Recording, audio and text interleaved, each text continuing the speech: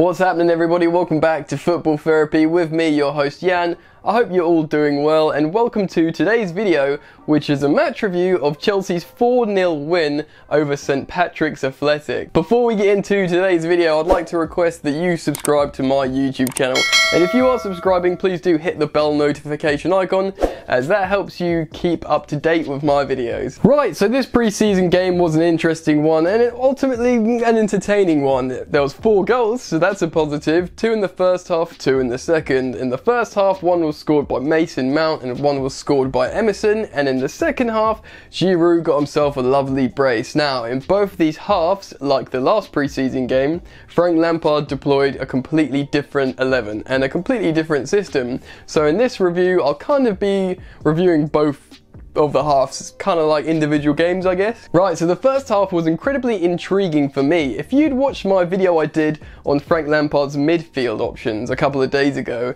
you'd know how excited I got over the idea of Frank Lampard playing a 4-4-2 diamond. And you know what? He played a 4-4-2 diamond in this half. So actually, in the two pre-season games Lampard's played, he's played all three formations that I talked about. That was a good video. Go and watch that video. So let's take a look at this formation. In goal, we had Willy Caballero. In the left back position, we had Emerson. The centre back pairing was between Tomori and Luiz. And we had Zappacosta at right back. So what did the diamond look like? The exciting part. Well, it looked like this. We had Jorginho at the base of the diamond. We had Mason Mount playing on the right of the diamond. Kovacic on the left of the diamond. And Barkley playing in the number 10 at the tip of the diamond. And in front of all those lot was exciting and intriguing strike partnership, uh, Tammy and Michy, Abraham and Batshuayi. So I'm going to talk about the individual player performances in just a second, but I just want to talk about the formation quickly. Now, 4-4-2 Diamond is a really difficult one to play in the Premier League, I think, for Chelsea because of the winger situation. We've got two good senior wingers in Pedro and Willian, and we've obviously got two new, exciting, talented prospects in Pulisic and Callum Hudson-Odoi. And in this system, there are no wingers. But just it did look very very good there was a really good team synergy it looks incredibly functional certainly for these um, these players on the pitch but it's just so accommodating of those great talented midfielders we've got and often games, football matches are won and lost in the midfield. So if you can control a game in the midfield by applying such a dominating and exciting diamond like Frank did in this game, it's good. in the first half, there was really good chemistry between this lot, again, particularly coming from the midfield. Really fast combinations, good passes, and good attacking phases of play. It looked like it just kept coming. Um, although there was only two goals scored, it looked like there could have been a lot more. And the two goals that was scored in this game were from Mason Mount and Emerson. The first goal from Mason Mount was a really lovely little finish, a lovely little assist from Kovacic as well, passed it in, nice, neat, tidy finish from Mason Mount early in the game. The second goal coming from Emerson, low shot from probably about 20 yards out, um, just you know, there's a phase of play where the ball's moving around. It was a matter of time before someone wanted to hit it, and it was Emerson, and it was a good goal. So I'm going to talk about all the players, and I want to start really by the strike partnership of Michy and Tammy. So a really intriguing strike partnership, and you know what? They kind of complement each other really well in theory and actually in practice as well. Obviously, neither of them scored a goal, but Michy probably should have had two or three. Um, Michy's more of the hold-up play guy. He's really good at the He's obviously big and strong. He's really good at holding the ball up and getting a pass off. Um, he's good at popping off loads and loads of shots, and he put in a few good passes to reach Tammy. Now, Tammy was more of a cloak and dagger. He was making the runs, uh, running the channels, and pulling people out. He also got a couple of shots away as well, and he put in a lot of decent passes to Michy and others. Batshuayi really impressed me in the first game, and he impressed me in this half as well. He um, was basically not always trying to get shots off, he was still making passes. Like I said, he found Abraham a few times, but he was composed in the 18 yard box. That's where he should live, Batshuayi, basically. Like, he doesn't concede possession in a silly way. Like, there was a moment where he did a couple of chops, like almost to that you see Wilfried Zaha do, and then he popped off a really good shot. I think he forced like three saves in that half and also hit the crossbar.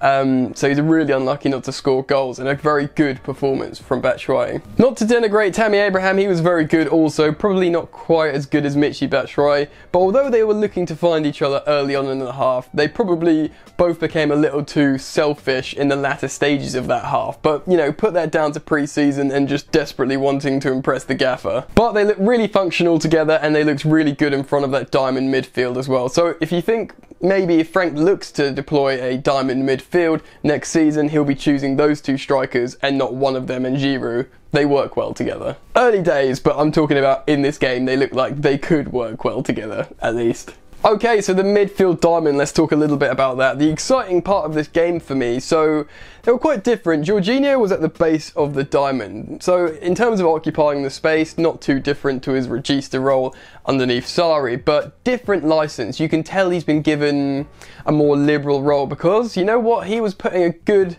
accurate long balls over the top. Now, he didn't do that under Sarri because Sarri wants you to play short, low passes to pull the opposition out. You can tell Lampard said to Jorginho, put some balls over the top, mate, if you fancy it. And he did. Accurate long balls.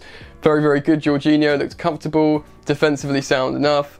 Didn't necessarily set the world on fire, but he was very, very functional and impressive for me, and I think he absolutely could play at the base of a diamond there comfortably. Kovacic on the left hand side was very very impressive for me apart from getting a nice assist to Mason Mount he was the best player on that pitch today in terms of carrying the ball if, if it's dribbling and moving for me you know I want to say maybe someone like Loftus Cheek's obviously very very good but now Eden Hazard's gone he's the one player that sort of looks like Eden Hazard when he's on the ball when he's carrying it. I'm not saying he's got the offensive prowess of Eden Hazard because he hasn't, but he's built like Hazard physically, so maybe that's why they're so similar. So good at picking up the ball and dribbling it, and you feel like he's held onto it for too long, and maybe he does sometimes, but that doesn't mean he's going to concede a turnover of possession. He can release it to a teammate.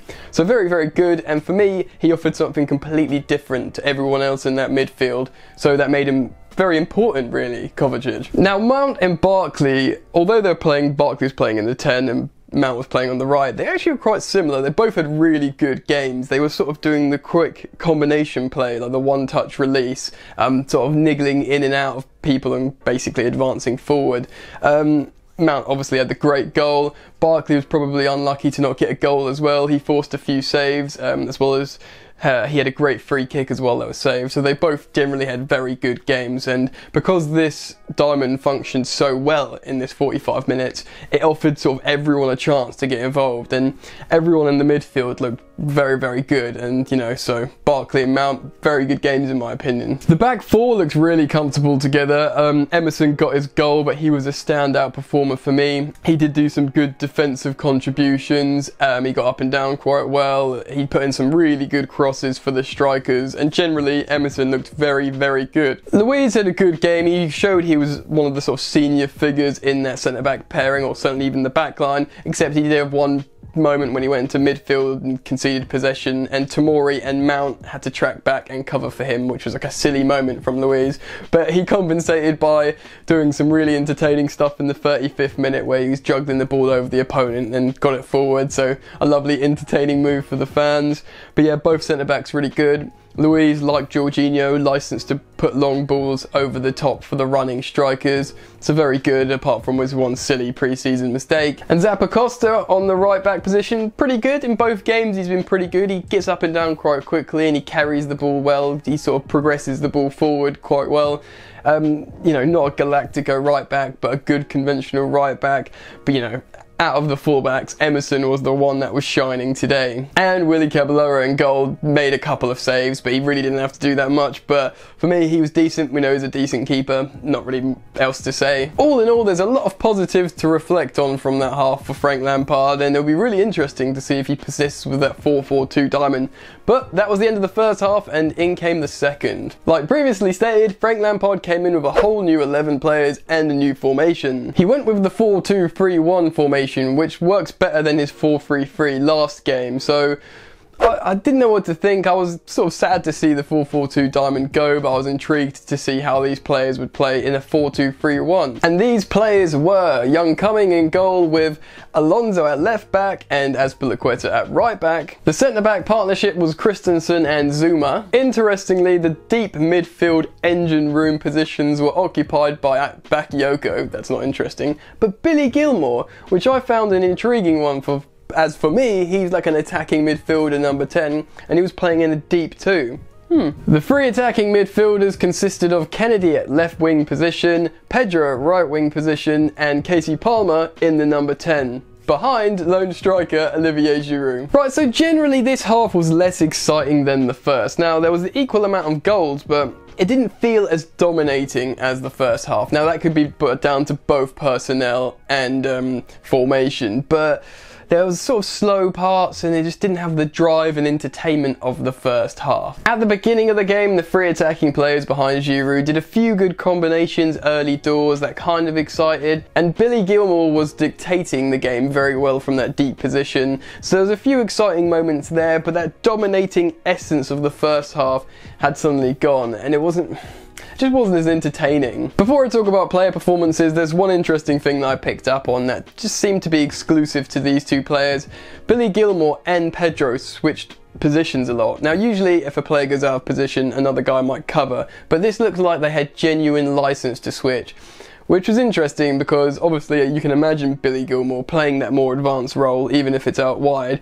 That Pedro coming into that deep position was a bit peculiar, but then again I suppose he's played wing back before so maybe he's a bit defensively savvy. So that was an interesting one. Right, so I got to start with Olivier Giroud when I talk about players. He was ultimately the man of this half in my opinion. He he he's often not doing exciting stuff when it comes to pressing or he's very good at combination play but he's not always involved. But you know what? He really was impressive this half. Obviously he scored both goals in the half and his first one was very very good. It was a cross in from Kenedy across his body and he hits it first time with his left foot and puts it in the corner. Very very good instinctive elite finish from an elite striker ultimately. Is Giroud an elite striker you know what? Yeah, I'm going to say he's an elite striker. Very, very dominant in the box as well, but you'd expect that from a World Cup winner, and someone of his experience and physicality. He's always been very, very dominating in the box. But for me, Giroud's moment of the half was his second goal.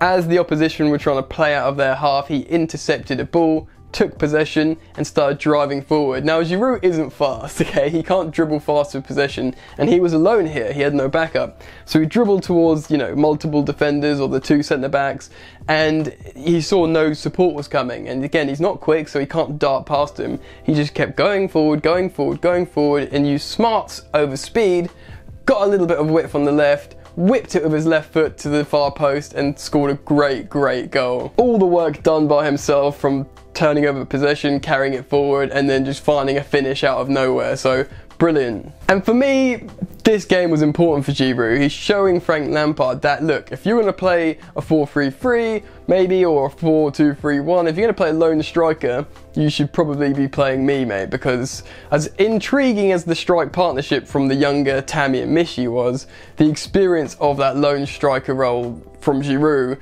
just makes so much sense and he looked really, really good. I mean, he looked great in the Europa League final as well. He's just sort of found a bit of form in the last few months. For the attacking mids in behind Giroud, Kenedy was decent enough. He obviously got the assist. He did a couple of good combinations. Didn't really do anything too exciting, but perhaps no one really did in this half apart from maybe Giroud and one other. For me, he looked a lot better in the left wing role rather than a left back role. So maybe the best out of that three behind Giroud, but not amazing. Pedro was still really decent on the right hand side. He looked a bit more like himself, um, or as good as we know Pedro can be.